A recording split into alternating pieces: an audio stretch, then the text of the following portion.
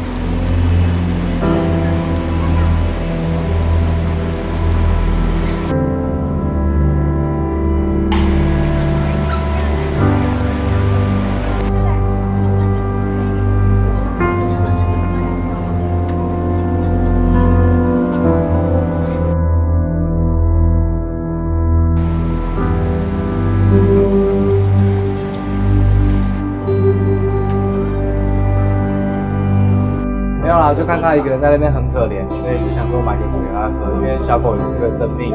那也是要尽到养它的责任才行，啊，我也无能为力。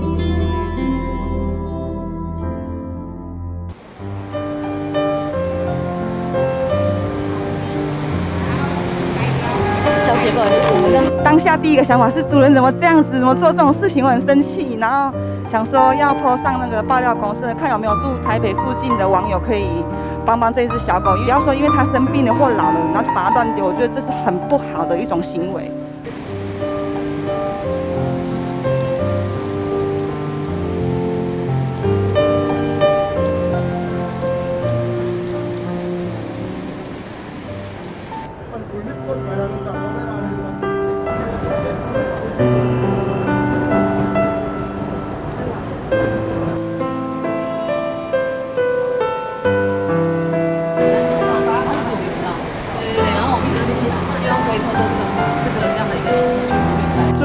就是你当初就决定要去养它，那为什么你最后还要去弃养人家？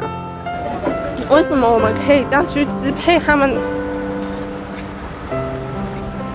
我们没有权利去去决定他的生或死，然后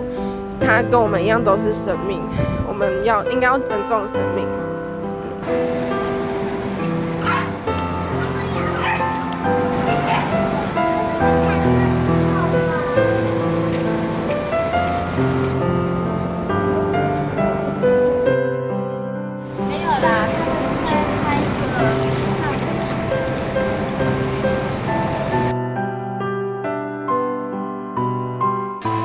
时候我也觉得对我女儿我还蛮愧疚的，因为她很想有个房，她也很想有